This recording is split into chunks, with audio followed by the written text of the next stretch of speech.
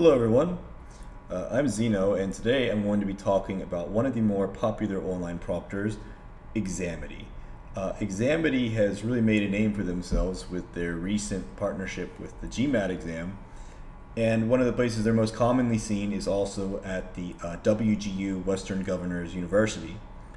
Uh, Examity is actually a pretty nice company, you know, they have um, live proctoring with uh, real people and um, they do a good job taking in your surroundings. And in some cases, such as with WGU, they actually have um, a camera setup which is the best in the industry. Uh, only a few other proctors have as good of a camera setup with as they do.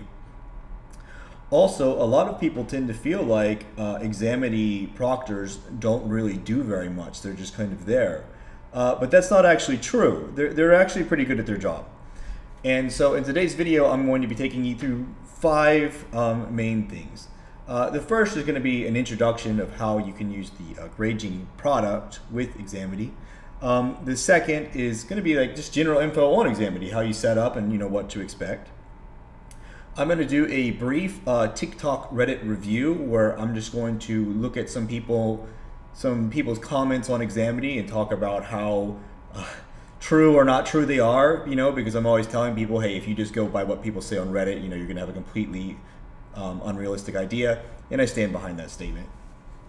Then I'm also going to show you some um, close calls where people were almost caught, so you're going to be able to see that, um, oh, you know, these proctors really are paying attention.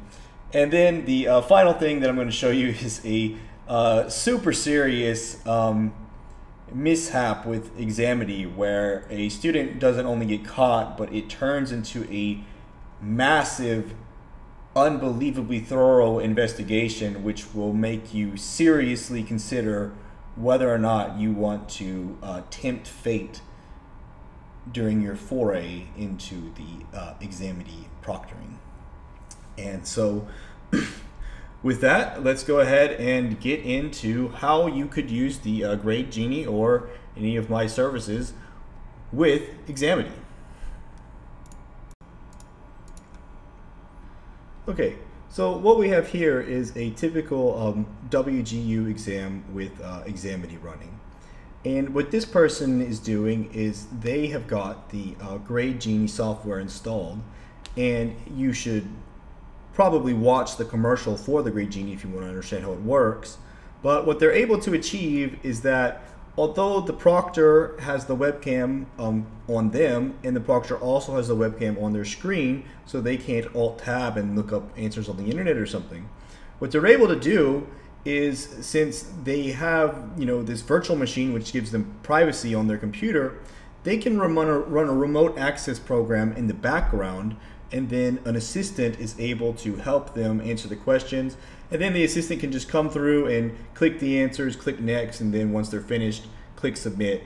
And uh, to the proctor, it will look like no one is helping, and it will look like the uh, student is doing the exam, but uh, actually the student is just sitting there while somebody else does all the work. So that's how you could use the Grade Genie or a uh, cheating service if you wanted to cheat on your uh, Examity exams with uh, undetected programs. Um, but in, in, order to really understand how all that works, uh, we're going to go on to part two, where I'm going to show you what an Examity setup, you know, what checking into proctoring is and uh, what to expect and all that. So, you know, you, you can know what's coming on exam day. Okay, now we're going to go through a uh, live recording of what it's like to set up for your first Examity exam. So uh, you're going to pull up your uh, WGU Examity dashboard. This is you know specifically WGU Examity, but it's pretty much Examity for everyone. And uh, first, uh, Examity is going to run a few tests to make sure that everything's ready to go, that it's able to access your camera, it's able to get a signal on your microphone, and that uh, your internet is stable enough to uh, maintain the stream. So we'll hit play. And um, once it's satisfied, you're going to go next, and then you can click Start Your Exam. And after you click Start Your Exam, you're going to enter this ID verification process. You're going to wait here for a minute, and then you will be connected to a live proctor.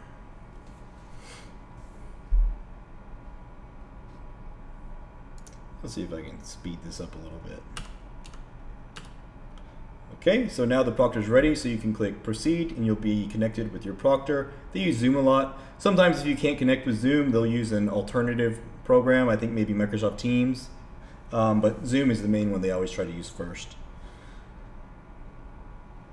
Okay, so um, up here above the sensor, uh, the student is on webcam, and so it's going to be the typical Examity view where it's not just you, it's from the side, so it's viewing you and your screen.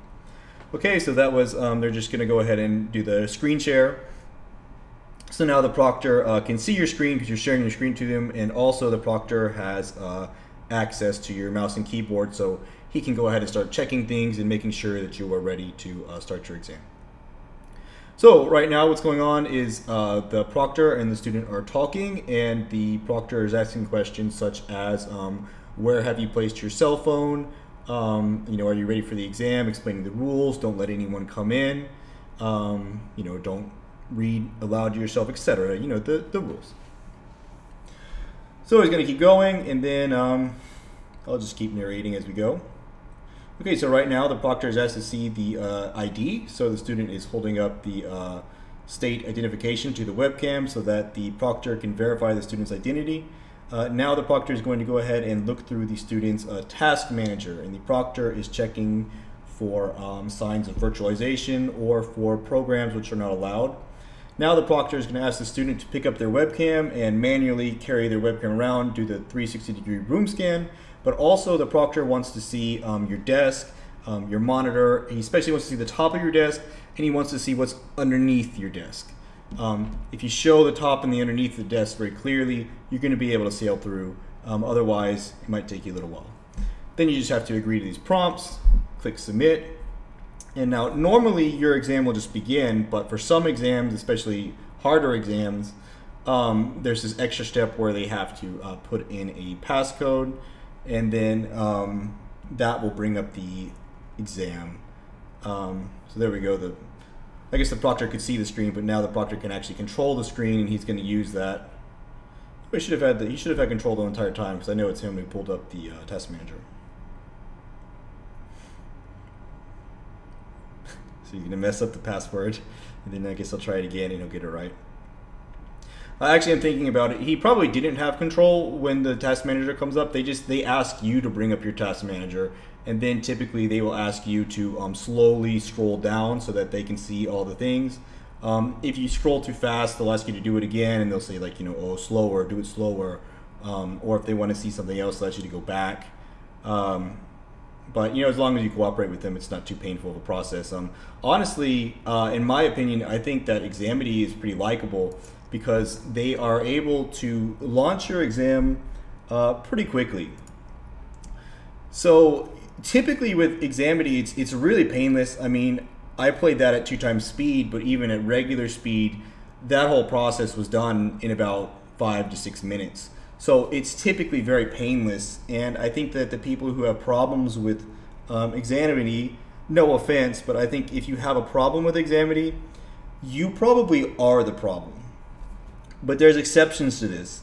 Um, and I hate to say it because I do like Examity, I would give them a good rating. But if you have a technical difficulty in the middle of your exam, for example, this is a common one an internet outage or a, a power outage. I think an internet outage is worse. Like, let's say that your internet goes down for a few minutes and um, you need to reconnect, or maybe Windows update, something happens, your computer reboots and you're maybe one, maybe two hours into a four hour exam and you need to reconnect, the Examity proctors are basically useless. I mean, I hate to say it. Um, I hope they don't get upset at me for saying that, but it's true. Uh, it seems like there is some kind of break in the chain of communication. Like, I don't know, maybe the proctors have no power, or maybe they don't have a supervisor who has power. I don't know. But the point is, whenever you try and use Examity support, most likely you're either going to get transferred a lot and have extremely long wait times, or they're just not going to be able to help you, or they're just going to kind of ghost you for a while, and then you're going to ask for an update, and they're going to say, I'm sorry, we can't help you and then you're going to have to um, reschedule your exam, unfortunately. Now, fortunately, rescheduling your exam is not the worst thing in the world. Um, typically, Examity is not going to give you like a 50% on your exam because you were halfway through and something crashed. Um, it's true that you're going to have to start over and that, you know, that takes that wastes a lot of your time, but typically you can start over. It's, it's okay. Sometimes it will use up one of your attempts other times it won't. It just depends on what happened, what the proctor said. Um, you know, it, it varies, but it's not typically the case that because Examity cannot get you back into your exam, that makes you fail. That doesn't happen.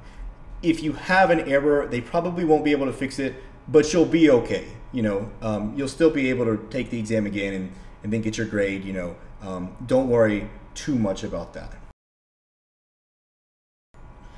Okay, so I'm going to start with Reddit, and I am going to go through uh, my opinion of what people are saying about uh, Examity, and I have a pretty good perspective because I've, I've seen it like hundreds of times. I know what Examity actually does. So this person is saying that uh, Examity has been going through his browser history, and um, I think that is a total lie. I don't think that's true at all. They would never do that. Um, uh, I think that this person down here, he comments that it's probably um, not the browser history, but the task manager. And I think this person is uh, probably correct. So um, you don't need to worry too much about that. Uh, here's another one from uh, Queen's University, and um, he's asking about it, and um, he's worried about it. This person down here says that he had the worst experience ever. Uh, 10 minutes in, he got locked out of his exams, and the support couldn't help him, and then he had to um, reschedule his exam and uh, again, I'm actually going to say that that probably did happen. Um, that does happen. Unfortunately, their support just is not well equipped to help you. Um, it's that way a lot of the time when uh, schools contract out their proctoring. The proctor's hands are kind of tied. You have to get like approval from the school. So all the proctor can really do is uh, reschedule you, and if you get permission from your school, then you're good to go. But typically, people always do. And uh, one more, this person is saying that uh, Examity might be the worst ever. Um, he can't understand the proctor's broken English, and then um, blah, blah, blah. And they complain about the um, camera angle and all that. Um, it's true that some proctors have really bad English. I don't think that Examity are the worst ones. Um, they do have an Indian accent some of the time.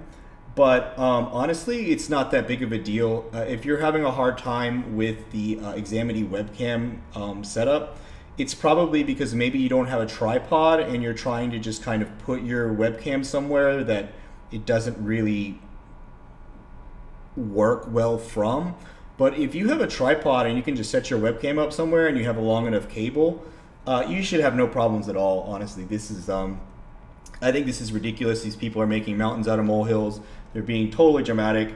Um, these other people talking about, um, you know, you finally get your camera right and then you have to scan the room. It's not a big deal. Okay, I showed you a live video of a check-in where it took five to six minutes and the guy was done, and I swear it is like that like 95% of the time or more. These people are creating problems. Um, so the way I got these is I just went on Google and I searched Reddit uh, Examity uh, I tried searching Reddit for Examity, but it brought up unrelated stuff. So that's how I chose those posts. And then here on uh, TikTok, I just did TikTok Discover Examity. Um, the first video is this um, nurse talking about her experience. Uh, she took her exam with Examity and she said that she got through just fine, but she felt very traumatized because you can't see the person who's watching you. Um, you're only able to see the proctor when he's actively talking to you. So like during check-in when he's giving you directions, like oh do your room scan, you can see him.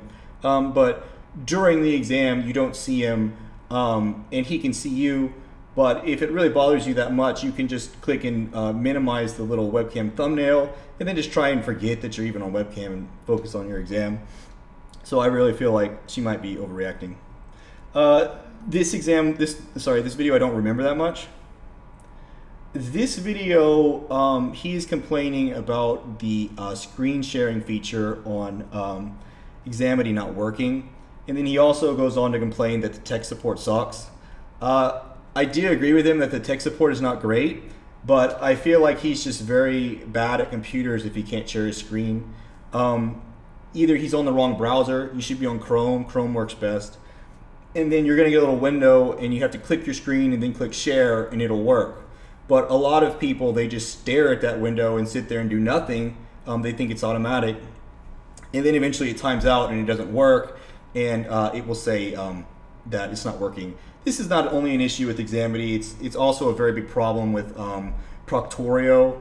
But is, is, this one down here? Um, this is a disabled student, and she's talked about having a medical emergency during her exam, and she said that uh, the proctor would not allow her to uh, go to the bathroom to take care of her emergency, and that the proctor wanted her to vomit um, in her seat while taking the exam. Now, we don't know what exam she was taking. She might have been taking the GMAT, so it's hard to say if, if that story is true or not. Probably it is. Um, but if you're taking something like the GRE or GMAT, you, you are able to get special accommodations, like especially for Crohn's disease on the GRE, you can get an accommodation so that you can pause at any time if you need to go to the bathroom for, you know, um, diarrhea or indigestion or something and also um, just in general for all students with um, Examity and WGU and most Examity exams, honestly, um, there is a take a break button, and uh, you can use it at any time. So you should be able to go take care of your um, business. You can ask your proctor in advance or your teacher if you're going to have that on your exam. And the only thing you need to know about the take a break button is that let's say you have a 100 question exam. Um, if you're on question 30 when you take a break, you need to answer question 30, like mark A, B, C, D, um, before you click take a break. But don't click next because when you return from your break, you're not going to be able to edit any question that you have seen. So questions 1 through 30, you won't be able to edit them. You won't be able to go back. You can go back and look at them, but you can't change the answer. So if you're looking at number 30 when you take a break, but you don't mark an answer yet, you're not going to be able to mark an answer when you get back. So it's just gonna it's just gonna leave that question blank, and there's nothing you can do about it, and the proctor can't help you.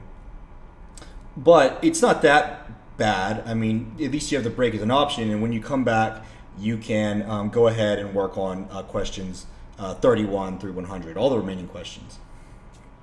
And um, you could technically use this to your advantage if if you knew that the questions were in a certain order, like for example, if you were studying pharmacology, you know, you could take a break and then go and do like a quick a quick review of the drugs that you don't know so well before you start, you know, the second half of your exam if you're expecting the second half of the exam to be on those. Um, typically with Examity the questions orders is not is not randomized. So, you know, there's a good chance that um, you know, you could use that to your advantage if you really wanted to. But um, yeah, don't worry too much. Uh, the, the, proctors at Examity are not, they're not super mean in, in my opinion. Okay, so we're getting close to the end of our video here. We're on part four, and we're going to talk about some of the things that can get you flagged for cheating, uh, even if you're not actively cheating. Um, one of the good things about Examity is that because they have a very unique webcam perspective, you know, the webcam's just not pointing at you like it is now, it's pointing both at you and your laptop um, they, they get a better field of view of what you're actually doing. So you don't have as much of an issue where if like say you're you're looking off the webcam, they don't think that like oh maybe he's got his maybe he's got his cell phone in his lap because they have a good view of you. So you don't typically get um, in trouble with Examity for you know looking around your room a little bit in the same way that you might with other proctors that don't have that um, kind of uh, third person point of view. Um, but I did look around and I found a few examples of times when people did get in trouble. Um, this first one I'm going to bring up on the screen here is uh, from Reddit, and uh, this student is talking about how he was reading some questions aloud and it um, got flagged by the proctor, and then the Examity sent a letter to his school, and then his school followed up on it, and I think it wasn't the end of the world. But the point is that these proctors, they actually are there and they actually are watching you. And um, the student talks about how he only read one question out loud and they, they flagged him for it. So they, they are taking what they're doing seriously. Um, some other people have talked about how they got in trouble because um, maybe their uh, mouse was out of view at some points in time during the exam. You know, they want to keep everything in the view of the webcam. And also, uh, one student, I guess she had on her web, her sorry, her headset during the check-in, and she forgot to take it off, and they uh, they wrote her up for that as well. And uh, if you're not convinced by that, uh, wait until you see uh, part five, which I'm sure most of you are here for, um, because this honestly, you know, even blew me away with all my professional experience. So to start, I want to talk about some of the things that uh, Examity is doing really well to um, catch people. And what they're doing is they've gotten very good at catching remote operators during uh, WGU exams. And the reason that they've gotten so good at it is because their webcam setup makes it so that um, remote operation is basically the only um, way of cheating on Examity. So they've really trained their proctors well to can capture um, you know a remote operator who's marking the answers for you uh, while you're watching and um, that's really a significant thing especially now that chat gtp or chat gpt has become a thing now many amateurs are trying to um, start a business cheating on exams but they have no idea what they're doing they're just relying on chat gpt they're amateurs and they will get you caught with um, and uh, WGU. And when you get caught, it will be an unbelievably big problem. And uh, after you watch this, I promise you, there is no way you are going to take any chances with um, any kind of amateur helping you on your uh, WGU exam. So, um, for privacy reasons, um, I'm going to be very careful with what I share from this report. Uh, I'm just going to kind of go through it um, without it live in the recording, and then I'll add B-roll pictures of it to match what I'm talking about. So, what happened is this student got caught cheating. Um, the remote operator did something, and the proctor saw it, and the proctor picked up immediately, figured out it was a remote operator, and um, the proctor stopped the exam, and not only did they cancel that exam, but they went through and they canceled every other exam and they failed this student out of the course over it. Um, yeah, and uh, so what, what they essentially have is they have this super long report, and the report is broken down by the name of the exam, um, whether it was pass, fail, or not finished and then they've got timestamps and notes and screenshots and um, i mean it's freaking wild how much they went through on this thing um, you know they've got timestamps down to the exact second and then they write notes like their interpretation of what they're seeing and then they attach screenshots um, that back up what they're saying. So they've got timestamps with what's going on, with screenshots, and it's just this huge report, you know, studying like probably 50 to 100 hours of footage, and they went through every video and made these detailed timestamp notes with screenshots. And, um, you know, the crazy thing about it is like this isn't even like a super high stakes entrance exam. I mean, like this is the kind of diligence you would expect from like the law school admissions test or the uh, graduate readiness examiner, you know, the GRE or the GMAT or the LSAT, you know, some kind of like high stakes college entrance exam, you would expect this kind of, um, you know, hardcore, intense um, diligence. But this was just regular online university exams, and they still went like this hardcore on like really nailing this case down. And honestly, I mean, beyond a point, once they had looked at like two or three exams, you would think they could be like, okay, this is case closed. You know, we got them. You know, like this is this is enough evidence, but they don't. They just keep going, and they they've got this report that's um, just incredibly long, and they talk about um, they talk about like different um, pieces of equipment in the room, and like they really zoom in on them and like look for you know are the lights on like oh, okay, you know, the student said that the printer was turned off, but I can see there's a light on on the printer. You know, they they note like little details like that, and um, you know, they're watching the the they're they're watching the cursor on the screen, and you know they're talking about how um, oh the student's hand movement didn't didn't exactly match the movement of the cursor on the screen. Um, I mean, the amount of things that they talk about are just like super intense. They've got tons of pictures of like the uh, task manager where they're documenting what um, processes are running, and then they're kind of you know explaining like, oh well, you know, um, here's this process that's running. Um, this process has uh, the capability of doing a uh, screen share, so that could be what's going on. Um, and uh, yeah, I mean, I'm gonna have to really be sparing, you know, because I don't, you know, I, I want to respect, you know, this person's privacy. But what we have here is a report that's more than 50 pages long, and uh, then there's an investigation summary at the end um, where they talk about um, just like the most important points, like okay, what applications were running, um, what key events turned them on initially to their suspicion that the um, student was cheating.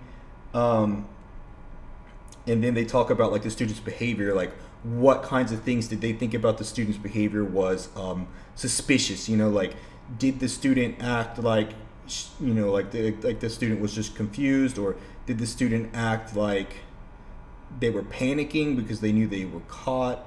you know how defensive was the student how aggressive was the student you know um, uh, it's just a really really thorough report i mean it's got everything from the screen recordings to the task manager um, and you know when you look through this report you can tell that at minimum i mean it might have been divided up through multiple people but at minimum i promise you at least 100 hours of effort went into this report between um, writing the report and reviewing all the different exams because there's a bunch of them.